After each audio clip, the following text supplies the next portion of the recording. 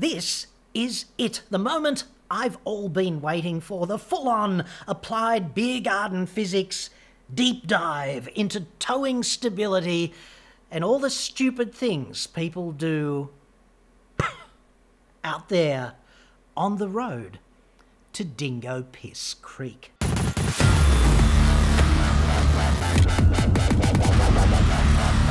I'm John Cadogan from AutoExpert.com.au and I get new cars cheap for buyers here in Australia. Website for that, obviously. Or you can just click the card that's up there now, dude. This question is from a dude named Shane Whipp, and we will dive in in just a sec. It's going to be quite detailed and long, I suspect, because this is complex stuff. However, I should warn you that this presentation is rated M for mathematics and P for physics, and therefore BB for brain bleed. So, Tampax up, ladies we're going in. From an engineering perspective, what are the most important attributes of a good tow vehicle? Wheelbase, width, height, weight, engine size, suspension or suspension upgrades, tow ball overhang past the rear axle, and tyres. As there are always discussions amongst caravanners about what is the ideal tow vehicle and why, it would be brilliant to hear the why from an engineer. Okay, so Shano has given us a bunch of things there to consider, and I just want to dispose of some of them quickly, all right? Things like height and suspension and suspension upgrades. Now, obviously, they do play into stability, but they're not primary stability things because out of the box, the vehicle comes designed to do some degree of towing, okay? If the suspension is deficient, then absolutely that will affect dynamic stability and you might need to quote unquote upgrade it. But really you're not upgrading, really you're fixing a deficiency, okay? And if the suspension's not deficient, I wouldn't go fixing a problem that doesn't exist, basically. And the height of all of these vehicles, all the 4x4 utes and patrols and Land Cruisers and things of that nature, they're all so similar. Okay, so unless you've changed the height by giving your vehicle the four inch lift and then you wonder why it's just not stable on the road anymore, then height's not really a factor. I'd class that as sort of a tertiary thing. But some of these other factors that uh, Shane has mentioned, I'm just having a look at that list, they are kind of primary. So let's dispose of them now. You got grip, okay? So essentially your vehicle is not just a free body in space that's resisting movement. It's anchored to the ground to some degree by those four contact points. And they are absolutely vital. So tyres are a big deal. And I note a lot of people modify their vehicle by putting uh, tougher sort of off-road tyres on the vehicle, okay? And there's no doubt that that interferes with highway stability generally because you cannot improve the performance of a vehicle out there in the rough stuff and also improve its performance on the highway because they roll out of the box with decent tyres for the highway. And if you're going to do 30,000 kilometre big lap around Shitsville or something, then that's where you want the stability. And I'd suggest you might do the odd excursion with your trailer, with your caravan, whatever. But most of your driving is going to be on sealed roads, and I would want stability optimized for that. Mainly because on sealed roads, you're going to be doing 100 k's an hour or something, right? And 100 k's an hour is not to be trifled with, with three tons behind you. You've got this massive amount of acquired energy, and if it all comes unglued, that's bad. So I'd want the maximum grip where you've got the maximum energy in the environment that you are going to be operating overwhelmingly commonly, which would be decent dirt roads in part, but mainly sealed roads. So I'd buy tyres optimized for that if you want towing stability. And then in other conditions like off-road, then I wouldn't be towing a three ton trailer off-road. It's that simple. And on dirt roads, slow down. Okay, your highway type tyres or your A slash T type tyres are going to go okay on decent dirt roads. You don't need the big knobbly mud killing tyres for towing, and in fact, that's going to hurt. Okay, but grip is a major factor because you've only got these four points of contact that have to resist all of the influences imposed by the trailer in pitch, like in the vertical dimension here, and in yaw as well when the trailer pushes the vehicle side to side. It's essentially overwhelmingly the contact patch that's resisting most of that. And wheelbase and also track to some extent, but the track is so similar, right? Wheelbase is a big factor because if you imagine, let's just do a thought experiment where we get, you know, the podger of truth, the flogger of truth, and we reduce the track and then we reduce the wheelbase and we end up with just the same amount of grip but concentrated kind of in the center. We basically get this concept of reducing the wheelbase and the track to an absurd degree and see what happens to stability when you do that. And when you do that, you're basically towing something with a one wheel. Right, like you know the one wheel, that skateboard with the big wheel in the center that all the vloggers in Canada use. Well, you don't want to tow with that because it's tremendously unstable. And obviously, if you could go the other way to an absurd degree and pump the track out to here and pump the wheelbase really long, it's even harder to start nudging the vehicle around. So, obviously, wheelbase and track and things of that nature have an impact on stability. But I'd once again suggest that all of the vehicles that you would tow this kind of thing are overwhelmingly similar. So if you're debating the relative merits of uh, Triton versus Hilux versus Ranger versus Land Cruiser, and you're using wheelbase as a defence, then in a sense you've already lost your argument. And it does astound me that there's these arguments around campfires from the beard strokers, right? The one thing that I always find hilarious about that is none of them train themselves in applied physics. And this is this will be like having 20 people sit around talking about the relative merits of the different ways to transplant a human heart. And the only thing is none of them are cardiothoracic surgeons, but they've all got an opinion right? And that's kind of what happens around campfires, yeah, because all of these people, they might have towing experience, but they don't understand the physics. So they end up going down these rabbit holes that are secondary at best and irrelevant at worst. So you've got relative size and mass, and we'll get to that in a minute, okay? Because it's important to have a much heavier prime mover, if you like, relative to the trailer. You've got more stability when that relativity is the greatest, okay? Heavier prime mover, lighter trailer, maximum stability. And for everybody who is motivated to comment now, oh, well, trucks don't work like that. Trucks are different, dude. Like, if you can't see that, should have gone to Specsavers, all right? Because here's your average semi trailer, which in America they would call a tractor trailer combination, okay? You've got these big groups of axles right at the back end, and the front end of all of this mass that's being carried is right over the top of the driving axles of the prime mover. The wheels are in the corners, it's maximally stable, it's designed to be like that. Towing a caravan is completely different. Like, towing is an afterthought on a ute, okay?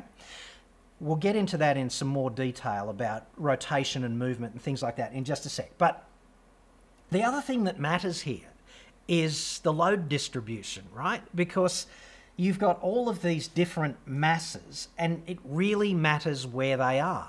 Okay, we'll get into that in some detail too, but I'd suggest it's much more important to put heavy stuff in between the back wheels in the tub of your ute. Okay, and that's the curse of the tub, really, isn't it? Because they're inconvenient to load, particularly because they're up high in a dual cab and you've got to lift the heavy stuff up there, and then you've got to climb up in it and move the heavy stuff in between the wheels, and that's inconvenient. And it leads to this sort of laziness loading phenomenon where the heaviest stuff ends up up the back of a tub. And for this reason, a drop side tray is better because it's easy to load from any position around the load space. The other thing I want you to be aware of is that in a dual cab ute, the wheels are essentially right at the front of the load space at the back, okay? They're not in the middle of the load space, they're right up the front. In fact, they abut the passenger cabin. That's how this works. Look at them all Hilux, Ranger, Triton, whatever, D-Max. All of those rear wheels are right up against the back of the load space. Okay, so where you put the load in the back really matters. How much influence the trailer has really matters. You know, if you hang a big bull bar off the front, we'll get to that as well. I'm not sure that helps a lot. It's better to have as much load as possible in between those four contact patches because you can imagine in an inertial sense when you're going around a corner or something of that nature these masses in here the five people the engine if you manage to put the heavy shit in between the back wheels it's all in the middle of these four contact points and it can't therefore act like a pendulum in the way that a mass here can or a mass here can or masses here can. So the way you load your vehicle is going to be pivotal to its stability in a corner, for example. Okay, so that's kind of important. Vans are like that as well, right? Or trailers generally, because I'd suggest there's a big difference between a big beefy trailer with three tons of sand in it, or total weight, three tons probably. Two and a half tons of sand and 500 kilos of trailer, something like that. There's a difference between that because the sand is really concentrated, right? And a van because a van is big and long and tall and shape really matters. There's this thing called I, which is uh, an engineering variable. It's called rotational inertia, and there's so much semantic promiscuity about it, mass moments of area and things like that it's all really discussing the same stuff, which is that different shapes are harder to spin or easier to spin, more resistant to spinning, able to exert more load on whatever when they are spinning. And we'll get to that as well. But I just want you to think, you know, your Utes not a truck, it's a light duty vehicle. All of these things uh, matter when it comes to stability, but they're not all equal. And hold that thought. So here's some common Utes and Land Cruiser okay? These are the sorts of things you actually see out there in the boonies on the way to Dingo Piss Creek actually towing heavy shit, okay? You've got your Ranger Wildtrak in this. I used Wildtrak because the weights vary a little bit and I've got to be specific about the variant. But Ranger is essentially the same as the previous BT50 as well. So there's two vehicles right there. And here's the D-Max. Okay, I've chosen X-Terrain as the variable there because it's the heaviest one. And that's equivalent to your current BT, all right? And we've got Hilux, we've got Triton, and then we've got 200 Land Cruiser, okay? So when you look at this, I've ranked them in order of descending wheelbase from longest to shortest, okay? So you've got your 3.2 metre wheelbase for your Ranger and your 2.85 for the Sahara, okay? And they descend like that. And the difference is like 150 and 220, so it's 370, it's about that far in, well, it's that far, in wheelbase, okay? Bit over a foot, 14 inches, okay? It doesn't actually make that much difference, does it? When you look at it like that, because nobody's arguing out there around campfires that Land Cruiser Sahara is a shitter towing proposition than a Ranger. Quite the opposite, okay? So wheelbase is not the variable that people think it is around the campsite. It's just not, okay? And when you look at the length of these vehicles, it's not the variable either because Ranger is coincidentally the longest vehicle with the longest wheelbase. It's nearly five and a half metres long, whereas your Land Cruiser 200 is just under five metres. So there's a lot of difference. It's like that much difference, right? That's a big difference in length. And if length was really a determinant of towing capability, stability, things of this nature, then Land Cruiser 200 would be the shittest vehicle at that, okay? And here's what I reckon really matters, okay? Look at the curb weight. 2740 for the Land Cruiser, two tons, the Triton's the lightest one at two tons, and then you've got, you know, 2.2 and a bit for the others, 2.1 and a bit for the D-Max and BT, the current BT, okay?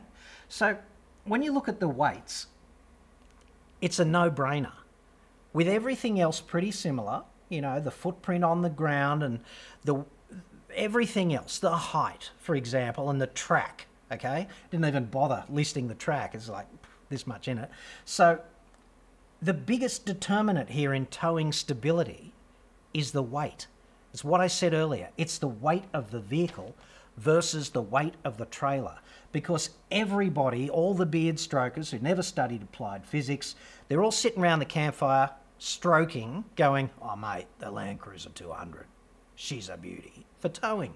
And it is, and it is because it weighs 2.74 tonnes. And Shane also mentioned the powertrain, which is kind of important for getting up hills and cruising effortlessly, but not all that important for stability. It's also got the most grunt. Okay, so you need the most grunt to overcome the most mass, and it's got overwhelmingly the most grunt, so it's overwhelmingly the best tow package. Unfortunately, it's overwhelmingly twice the friggin' price of most of the utes out there doing the towing, and this is why many people don't go for the cruiser, they go for a ute, and you've got a cop on the chin the reduction in stability and the greater difficulty in achieving safe, heavy towing. That's important. Okay, so I almost didn't go here, okay, at all, because, you know, eruption of blood from the ears and at school, you know, if you were good at science at school, they try and stay on planet linear when you talk about physics because things that happen in a straight line are just so much easier to understand. You know, straight line phenomenon, yeah, we're getting it. As soon as you do spinny stuff and you have to go to angular world, it's really confusing. Even the name, why do they call it angular?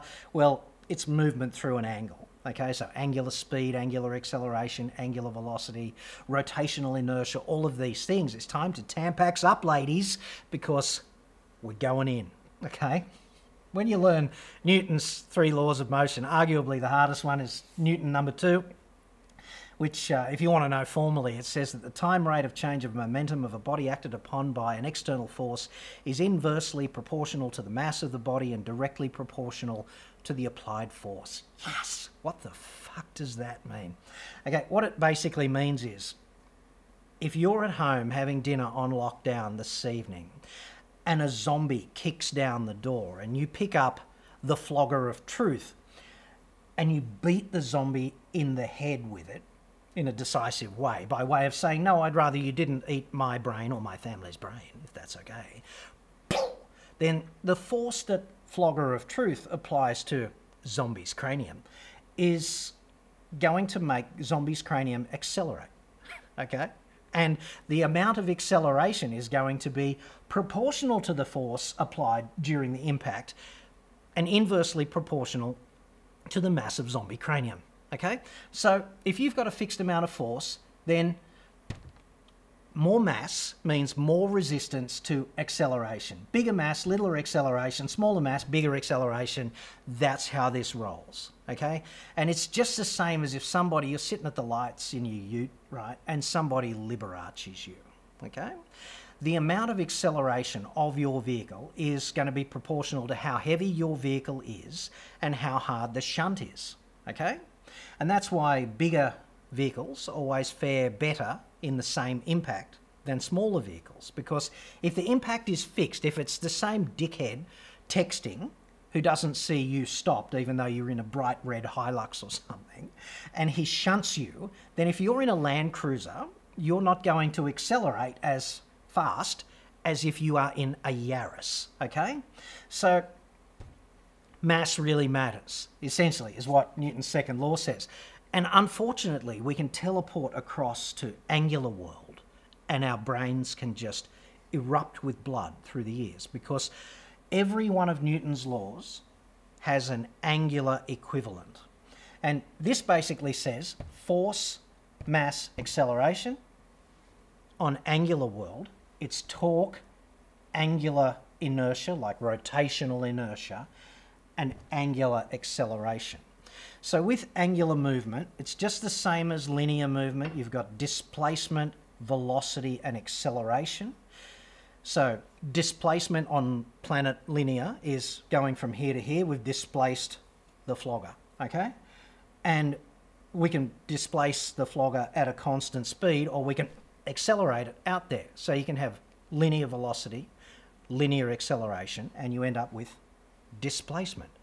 You get the same thing in angular terms, right? So you can displace something through an angle and it's got angular displacement. And you can move it at, you know, you look at a crankshaft rotating around 6,000 RPM, it's moving 100 revolutions a second, so its angular speed is like 360 degrees times 100 is like 36,000 degrees per second kind of thing. If you want to do it in strict physics terms, it has to be radians per second, but you know, Tampax up twice if you want to get into that. So here's the thing about angular anything. Shape really matters with angular anything, okay? Because not all masses spin the same. Big compact masses spin differently to elongated masses that weigh exactly the same, right? You've experienced this. In fact, I'll show you now. This is a 25 kilo bag O pelletized chook shit, which is roughly 30% of my body weight. It's pretty easy to lift, but not entirely trivial to carry endlessly up the stairs.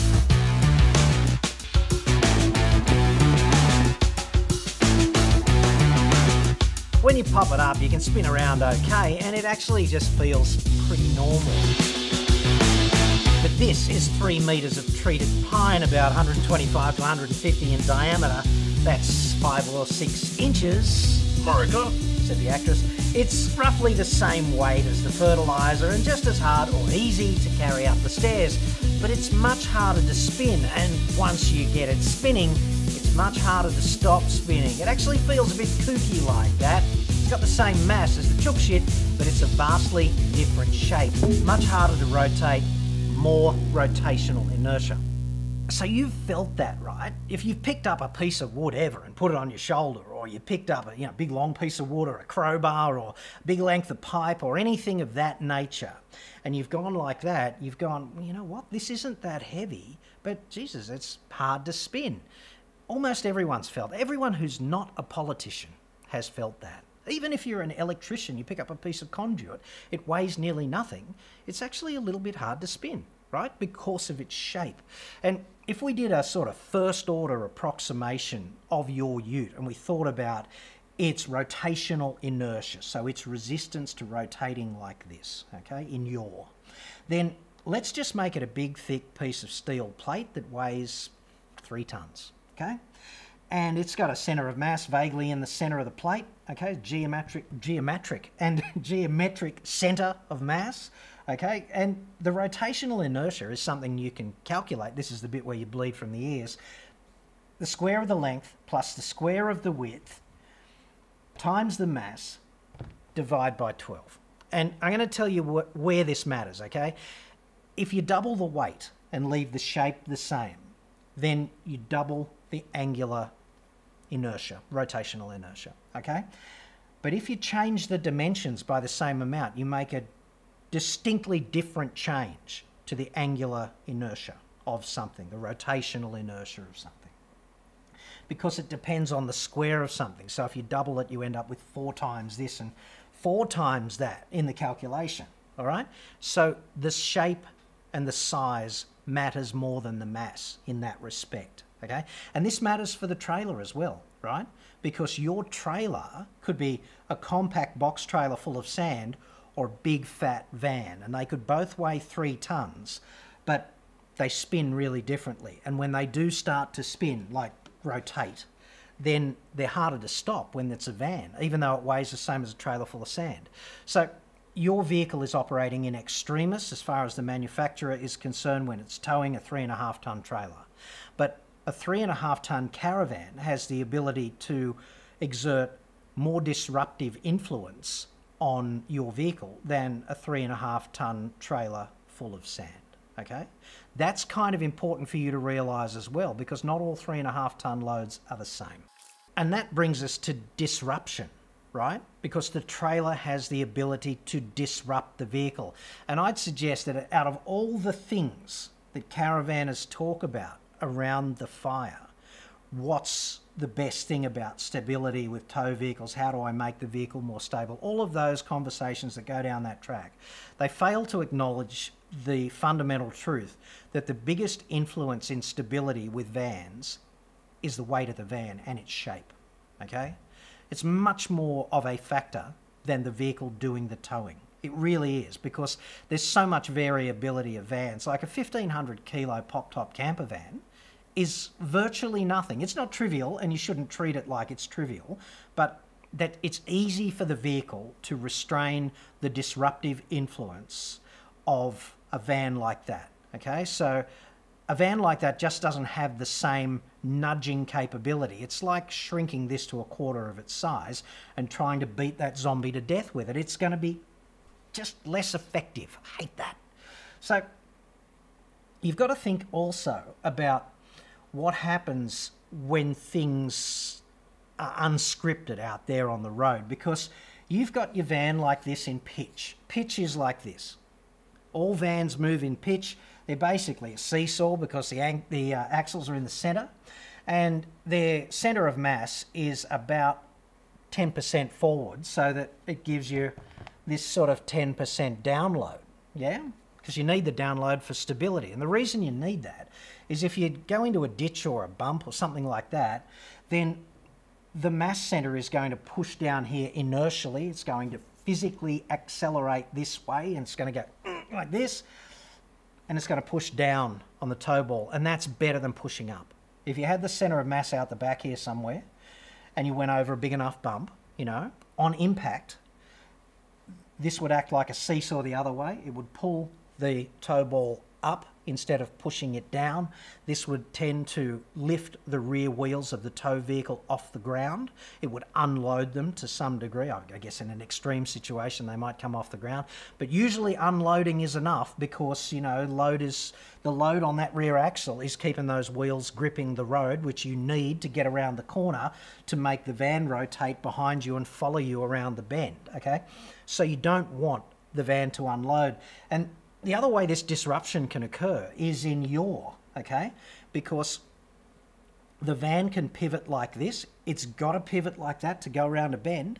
Every time you go around a bend, it's translating around the bend and yawing at the same time. And at the end of the yawing part of its motion, it's got to track straight ahead. So in order to get it to track straight ahead, the vehicle has to tell it to stop spinning. Otherwise, it just wants to start to keep spinning. That's like Newton's first law, okay? So the other thing that is a bit of a brain bender with all of this is you, both of these disruptions can occur at once. So you can go over a bump, doom, like that, and you can be in a corner at the same time. And that's kind of challenging, isn't it? And you could even be in an off camber corner, right? So when that happens, the rear wheels of the tow vehicle get pushed to the ground because of disruption in pitch, okay? And that means the steering gets less effective. So you might feel the combination start to drift wide or push, okay? And then you whip in a bit more lock because that's a scary situation to be in. Okay, you whip in a bit more lock and you might get a bit more grip or you might get a, a bit more grip in a couple of seconds when the stability in this plane of pitch is resumed, okay, but then you've got the wheels pointing too far around the bend. You're kind of over nudging the vehicle into too tight a radius now. And the trailer's very confused because it started to yaw in response to your increased steering, and now you're telling it to straighten up, and you might hit another bump, or the camber might get worse, or whatever. And all of a sudden, you've given the trailer enough of a disincentive to stay straight ahead that it's starting to turn into a pendulum behind your vehicle. And you definitely don't want that. So I'd suggest that the biggest factor out there on the road that plays into the stability is not the vehicle doing the towing, it's the vehicle being towed. And the vastly different number of combinations out there, big tanks full of water here, a lot of heavy shit loaded into the back, who knows? Because if it's a box trailer, then you know, it's easy to put the heavy stuff up the back, isn't it? You can unload the tow ball. If you haven't weighed it, how would you know? If you're towing a car, for example, cars are really high and really long as well, right? So they've got a lot of rotational inertia and they're also quite wide. So they, they have a rolly type influence on the trailer as well. And all of these things can happen together and that's sort of really depressing because there's only so much compensation you can do as the driver. What you're really relying on is the fundamental stability of the combination. So getting it sorted out is like, dude, it's really important. Now, the beard strokers, right, are really big on overhang, overhang behind the rear axle. Like that matters, okay? What really matters here is where is the vehicle yawing around? So, yawing is this kind of spinning dinner plate motion. You have to do it every time you go around a corner, okay? If there's some sort of violent interaction between the trailer and the vehicle, there's a force exerted this way or that way. by the trailer, okay? And it causes the vehicle to yaw. And if for some reason the rear end unloads a little bit, then the rear wheels might lose traction somewhat. And arbitrarily, the vehicle might start to spin around this point like that. It might just start to spin that way, which is really scary if you're holding the steering wheel, okay? So what really matters here is the length of this spanner, right? Because the longer the spanner, the greater the torque causing the vehicle to spin. Okay, so it's not really the length of the overhang behind the rear axle. It's really the length between the force that the trailer's applying and the vertical axis about which the spinning motion is occurring.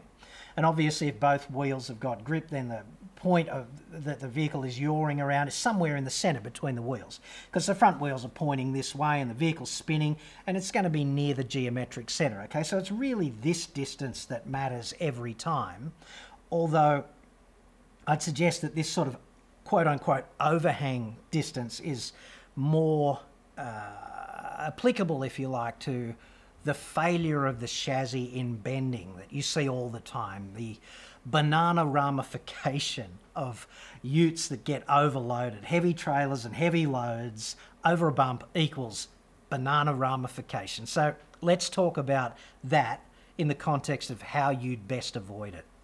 So here's a complex diagram that's really just representative of your ute and what it really is in structural terms, which is two pieces of chassis joined together going for a drive down the highway and a whole bunch of loads imposed upon them. And I've kind of tried to make the proportion right, even though I'm such a shit draftsman. okay, so the only thing I've really botched is this leaf spring here. The leaf spring front attachment point is really back here near the join between the load space and the cabin. Okay, so that's a bit out of proportion, but everything else is pretty much how utes roll. All right, so when you think about the loads that are imposed upon a notional three ton ute, okay? Three ton including the load, all right? You've got your three and a half ton trailer imposing 350 kilos on the tow ball out here. Typically, you got your heavy shit in the back because it's easy to put the heavy shit in the back when you're camping every day. You just lift it in like that. You don't have to then climb up and lug all that heavy shit here where it should really go.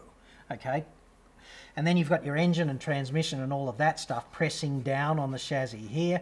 You've got a kind of distributed load of everything that's in the body, including the people and any accessories you fit that are, eh, that's imposed at various points on the chassis here.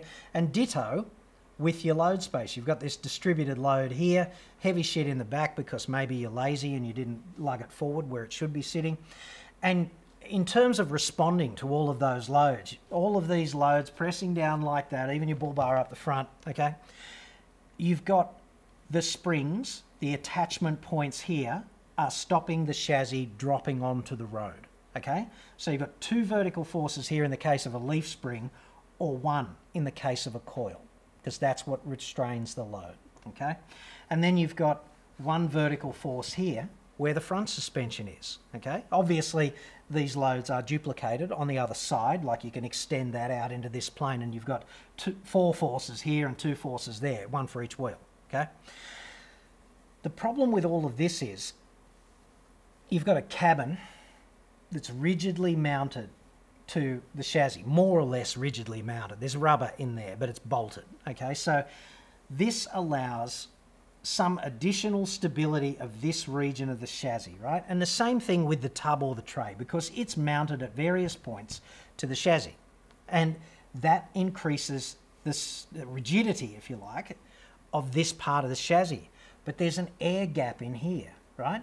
There's nothing bolted across the chassis between the tub and the cabin. And just think about this when you overload something, okay? You put all of this additional weight here, which is the worst possible place for a heavy load because it's way out here. If this is a seesaw, this is a fat kid sitting right up the end, okay? And you've got to ask yourself, what's the failure mechanism? What's going to happen when all of this goes pear shaped?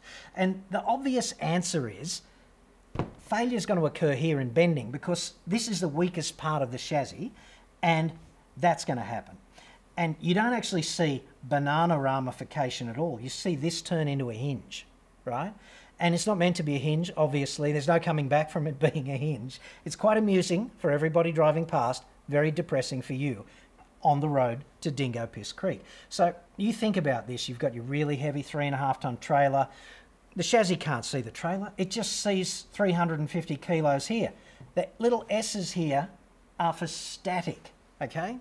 But hardly anything with a vehicle is static. You're driving on some shit road and you go into a piece of bull dust that's sort of bottomless and the, the van falls into it and all of a sudden the wheels here are climbing up out of it. So they get a big shunt this way right when the van hits the bottom of the whatever you just hit. And so it's but accelerating this way this turns into i don't know 1400 kilos or something. And this turns into an accelerative shunt this way. That's the recipe for a hinge right because this is what happens and you go past the yield point of the chassis right here, it goes plastic, the deformation becomes permanent. You're on the sat phone, right? Get me out of here. Not pleasant. Okay, so this is why I say that it's a great idea to load these vehicles conservatively. Don't tow three and a half tons, don't tow three tons. Tow two and a half tons, you'll probably be okay. Don't overload the load space. Make the extra effort. Put your heavy shit up here because this is a bit of a spanner too, isn't it? You know, all the heavy shit is a bit of a spanner, and you've really got a, you've really got to care about this if you're going to do 25,000 k's across the shittest roads in the country, because there's no coming back from this, right?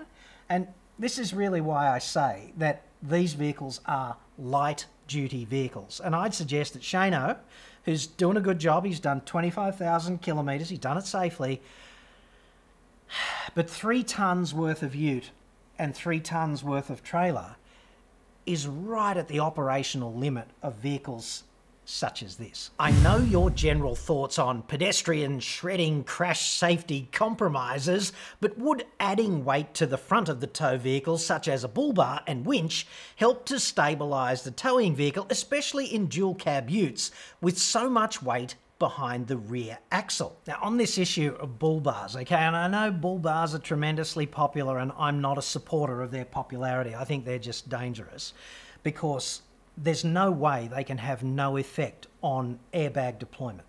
People fit bull bars because A, they're a fashion accessory. Everyone's got one. They want to be part of Club Dingo Piss, and you can't join unless you've got a bull bar. But let's think about this. The, the, the notionally rational reason for fitting a bull bar is to protect the vehicle from animal strike.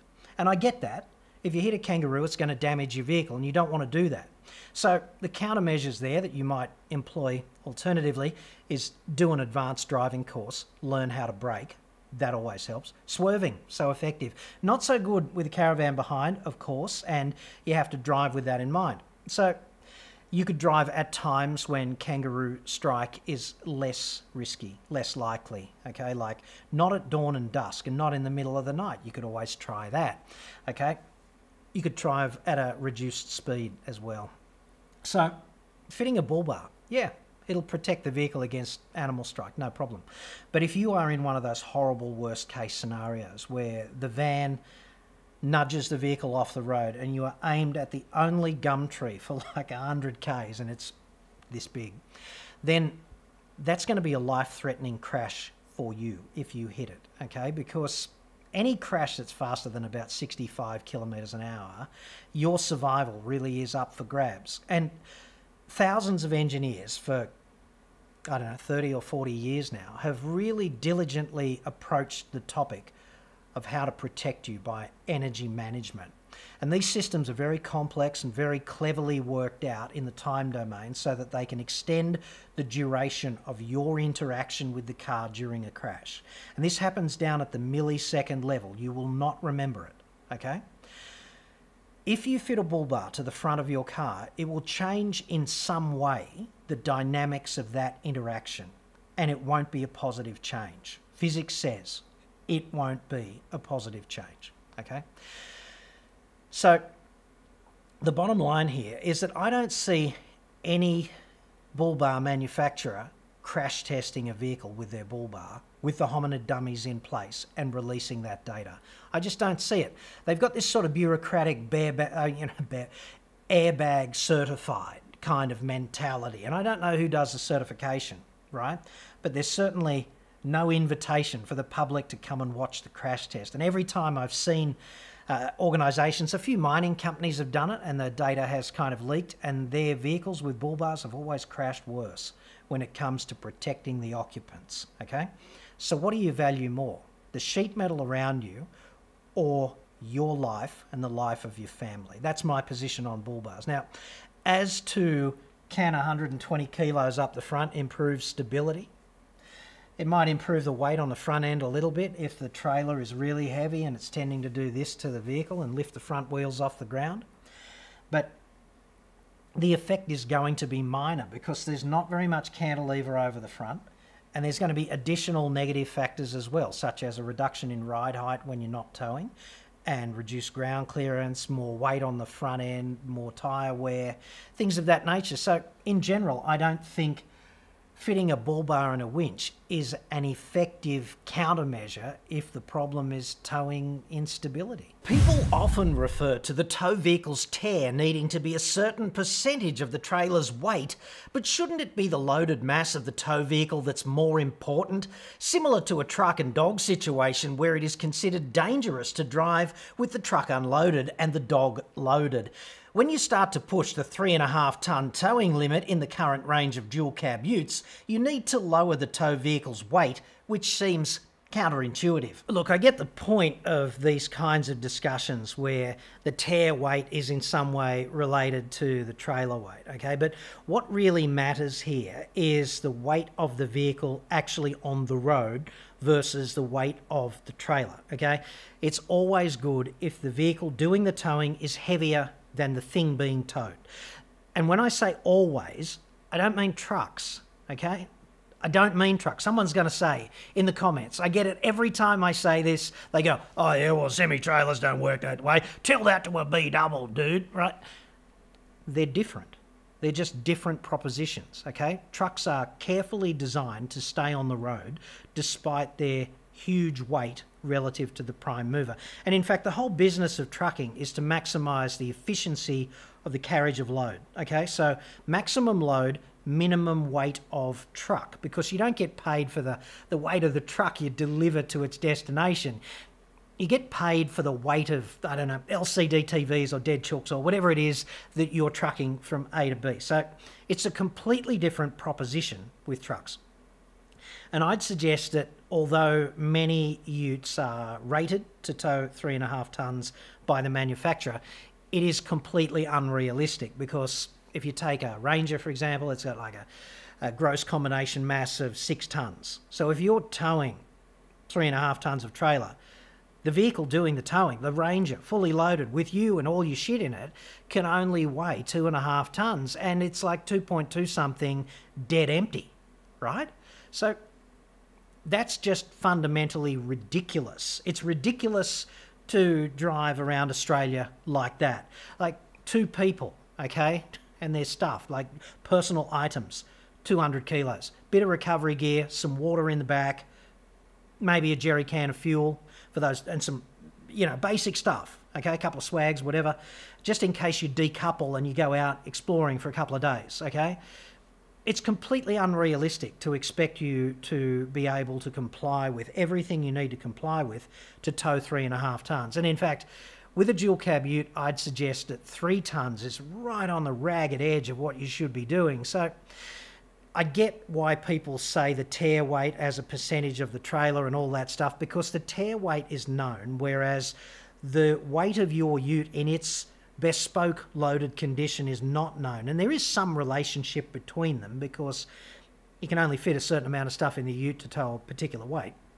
So I guess there's a loose relationship between those two, but what really counts is the thing doing the towing, your ute with its shit in it, needs to be, in my view, for safety and longevity and all of those kinds of things, right? As opposed to just legal compliance. Let's think about safety. For safety, it's really good if the quote unquote prime mover of your convoy is substantially heavier than the trailer. FYI, I have the mental illness as I am one of those Dingo Piss Creek visitors. We are towing a three ton caravan with a Ranger that is also constantly loaded at three tons approximate weights. It seems to tow quite well, and we are 25,000 kilometres through our lap of Shitsville. The 2 litre bi-turbo also has plenty of power, does not hunt through the gears, and returns reasonable fuel economy. As long as the engine and gearbox last the distance, I think it's a pretty good combination. Would love to hear your thoughts. Shane, up front, let me say thank you very much for your question. It was so well thought out, gave me the opportunity to do that whole informational dump. And also, I am genuinely pleased that you are out there having a good time in your Ranger doing what you love. And I know I piss take the Dingo Piss Creek adventuring crowd all the time, but it's only because I've sort of been there in the outback so often and I've seen all those people. And it's a caricature of the way reality really is.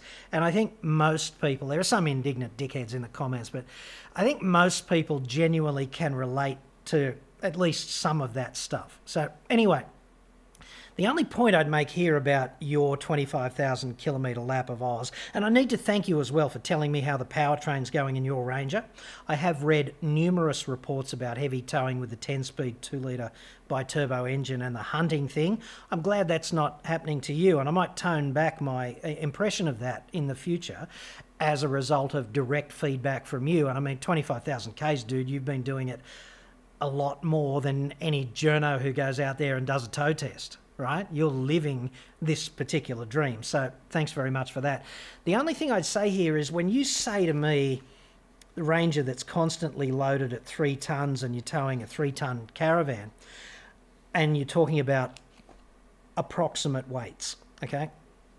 You're right on the edge of the gross vehicle mass. So, what I would do if I was you, I'm glad that it's towing okay, but you've also got to think about compliance. So, if approximate weights means maybe 3.1 for the van, we don't really know, and maybe 3.1 for the ute, like, yeah, 3.1 today, you know. I'd get the combination weight, dude, because you don't want to get stopped by some inspector at the roadside and told that you are 200 kilos overweight. Here's your fine. Plus, P.S. You're not going anywhere unless you lose 200 kilos of your shit. Now, that might be as simple as emptying a water tank, okay? Or it might be a complex proposition indeed, depending on what you are actually carrying. So, that is a risk, okay? And I'd suggest that for everybody contemplating towing, you know, towing something heavy, if you're sitting there on your ass now and you're this far through this video, you are thinking about towing something heavy, three tons, three and a half, whatever. Don't do three and a half with a three ton, with a dual cab ute, okay? Just don't do it. It's impractical.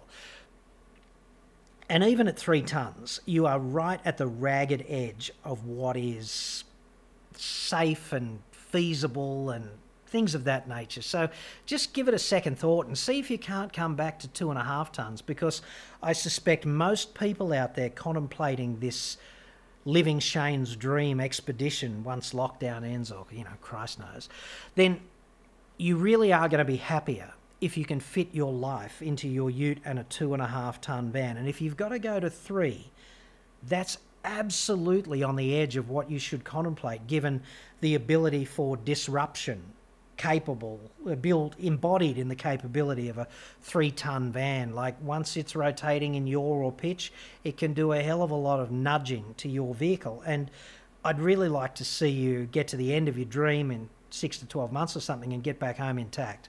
Nobody wants to get dusted off by the flying doctor in the middle of nowhere. And it can take a hell of a long time to get medical assistance in that kind of environment. And really, this sort of conservatism, and I know this is like a grim way to to wrap up any sort of video on this stuff, and I do try to be lighthearted from time to time, but you don't want to be in that position. And that's why I piss take the Dingo Piss Creek crowd all the time, because there is no Dingo Piss Creek and there's no quintessential beard stroking dickhead. He's a caricature of everything that's wrong with somebody who might make the wrong choices touring the outback, okay?